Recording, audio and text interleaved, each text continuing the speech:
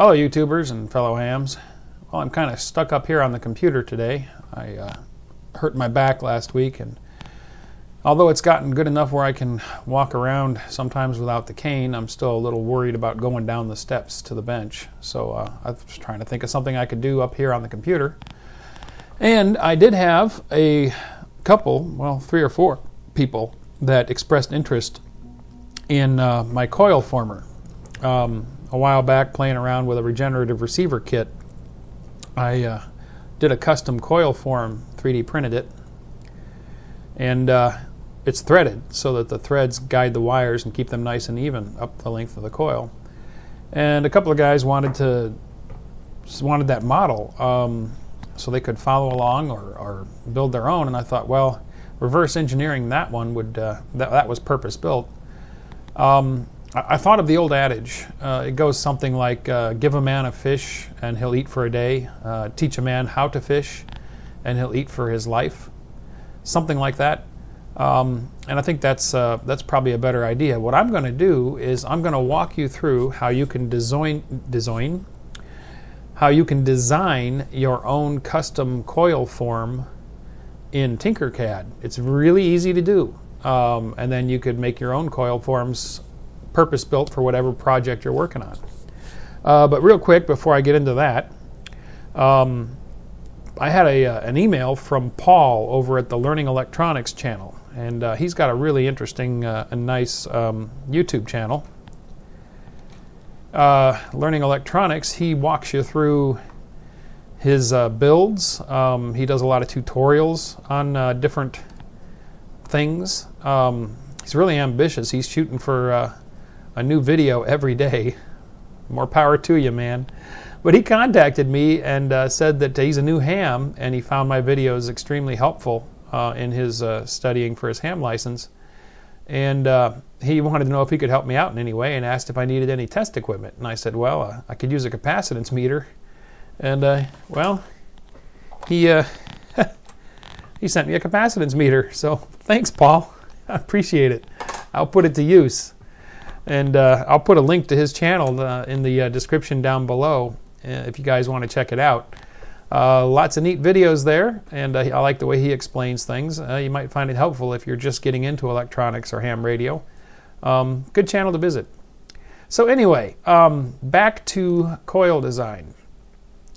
So I needed a practical example for this, and I went out and I hunted around and I found a shortwave radio kit where they wanted you to wind a coil. Um, and they used a piece of uh, PVC pipe, as you can see here, one inch in diameter. And uh, this is nine turns here and three turns here with a one turn gap um, in between. So about uh, 13 to 14 turns of space. Um, and I thought, well, this would be a good practical example. If I wanted to model a coil form for this instead of using the PVC, um, that's what we'll do. So we know this is one inch in diameter. It's probably about one and a half inches tall um, when you just count the area with the windings. And then he's got a hole where the wires go in and come out to the windings. So I think this would be a good example for a coil form. So we're going to model this in uh, Tinkercad. So let's hop into Tinkercad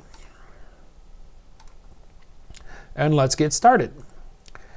Okay, so um, the threads on the outside of the pipe that was what was uh, most interesting to the commenters that asked about um, how to model these. And uh, I'll show you what I did. In Tinkercad, over here to the right, you've got your basic shapes. But if I go up here and I click on basic shapes, uh, there's some categories here. And one of these categories down here under community is featured shape generators. Now, a shape generator, kind of like OpenSCAD, they use a scripting language to design a shape, to define it um, as, with a descriptive language. And then the shape gets generated mathematically. And one of those, right here, is an ISO metric thread. So if we pull that in, you'll see that what we have here is basically a threaded bolt. So that's the basis for my coil former. Um, now, that uh, that form that we were looking at um, here is uh, one inch in diameter and about one and a half inches tall. Now, Tinkercad by default works in millimeters. Um, if I click on a dimension, I'm looking at millimeters. But down here, there's a button in the lower right that says Edit Grid.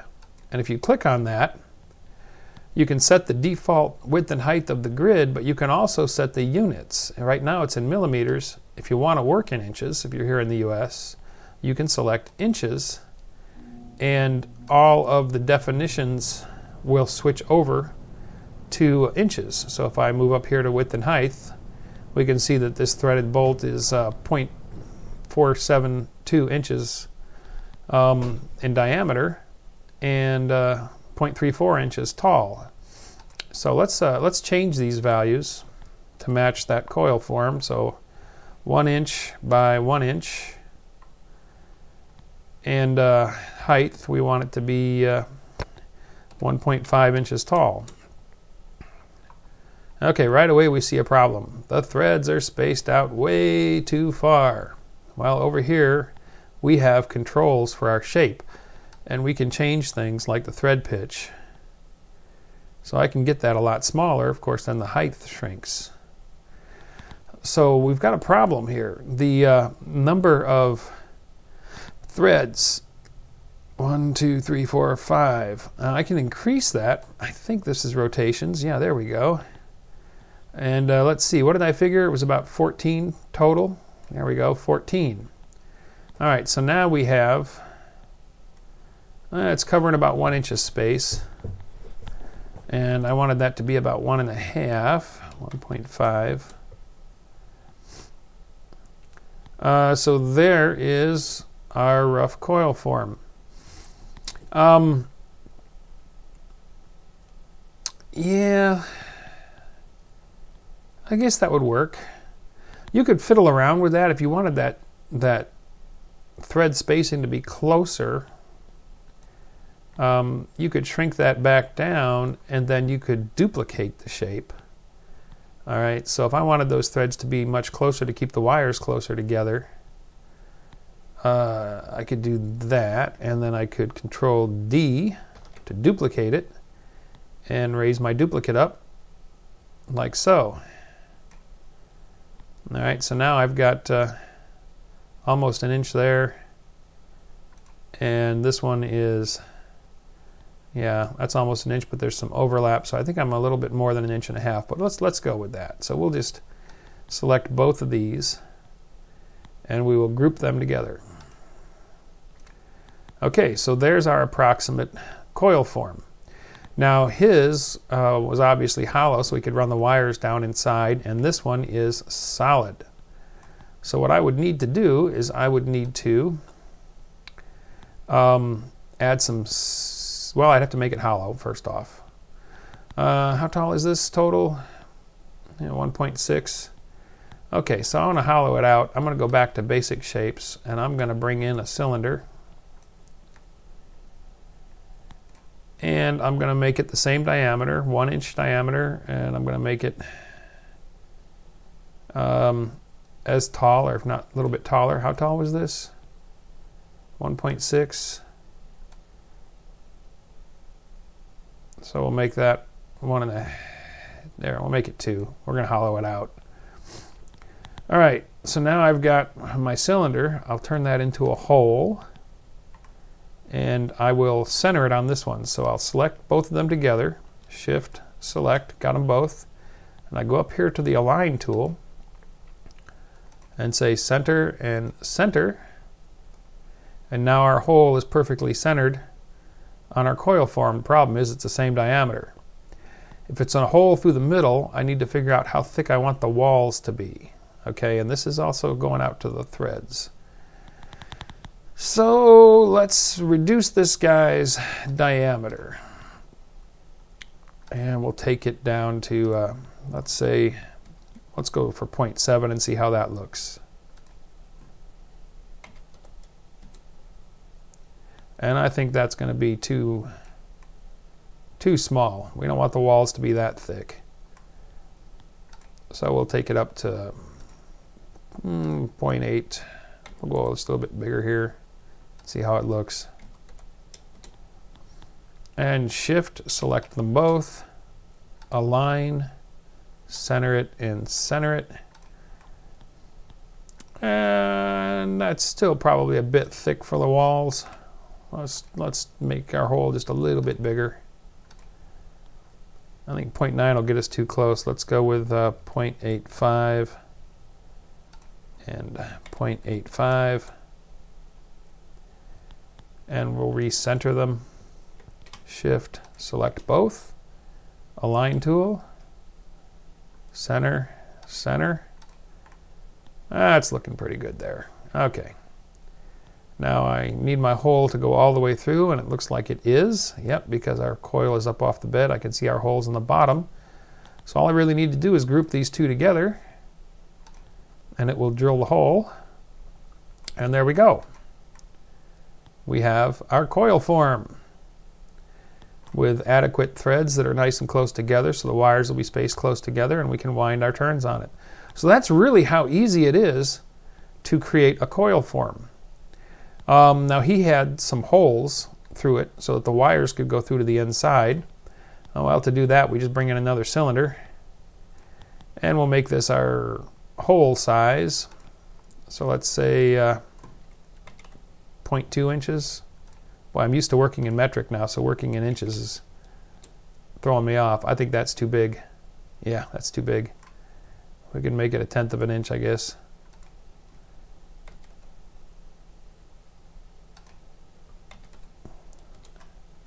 Okay, so that'd be our hole for the wires. So we'll rotate this 90 degrees.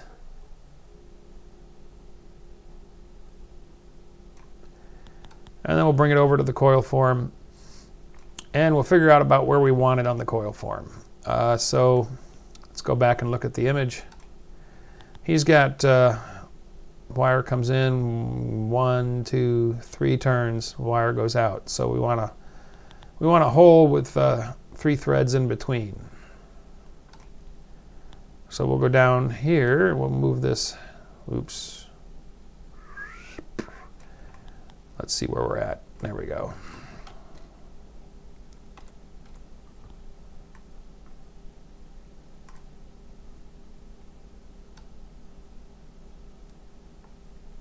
All right, there. And we'll move it down to about where we want the first coil to start, which is near the bottom. And then we want one, two, three, was it four? No, three. Okay, so we got one hole here. We'll uh, take this and we will control D to duplicate it and raise our duplicate up. One there, so we got one, two. I want to move that a little bit shorter distance. I'll change my grid snap down to 32nd of an inch. That should give me more granular control. Yeah, there we go. Okay, one, two, three turns, and there's our hole. Okay. And then our other coil was one, two, three, four, five, six, seven, eight, nine, ten turns. All right. So we'll duplicate this again. And we want one turn between the two. So about there. So this will be our starting hole. So one, two, three, four, five, six, seven, eight, nine. And we want another another hole up here. So we'll duplicate that again and move this up.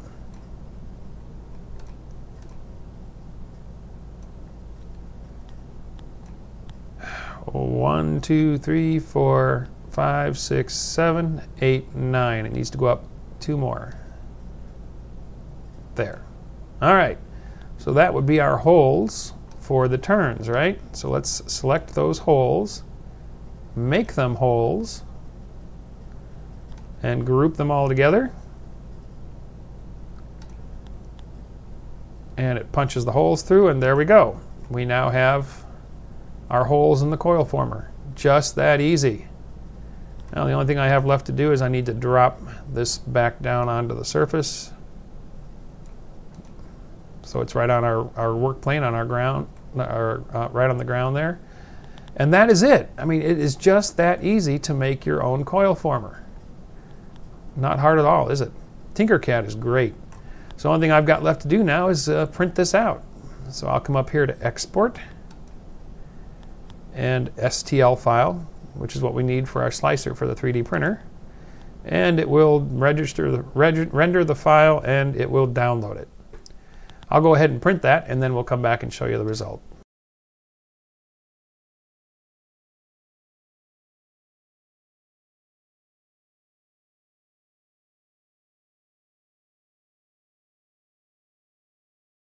All right, well, there we go. From computer to reality. You can see the holes there on the side. I don't know if this is showing up on the camera, but the threads are pretty well defined. All ready for wrapping wire on. I guess that's not going to help any, is it? Eh, stupid webcam. You can kind of see the threads there.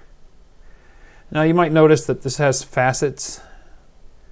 Um, one thing you can do when you create a cylinder or that threaded object in Tinkercad is you can change the number of sides. Uh, I'll show you real quick. So when you bring in a cylinder or, or another round object and its uh, settings come up here on the right, you'll see there's a slider that says sides and that increases the number of uh, facets and makes a smoother cylinder. And the same thing is true for the thread generator. If we go down here to the threaded bolt, bring another one in. Uh, I think it is segments. Yeah. If we crank that all the way up, it becomes much smoother. So I didn't do that. That's why this has, you can see the light reflecting off them little flat sides, but that doesn't harm the coil at all. I mean, you're still going to wind your coil just fine with this. So, and it's hollow. Um, you could have easily made a, a, bottom for it if you wanted to mount it on a PC board. You could make one with bigger threads. Um, you could make one with bigger threads, bigger diameter, longer. If you were winding a uh, air core inductor, you could wind the wire and then unscrew the form out from inside the wire. You know, I mean, it's a, it's a powerful tool. So that's how you can make your own coil former in Tinkercad. Thanks for watching. If you enjoyed the video, don't forget to give it a thumbs up. Also, if you're not already a subscriber, click to subscribe. Join us on the Facebook channel for discussion about the videos. And if you'd like to help support this channel, please click to support me on my Patreon page.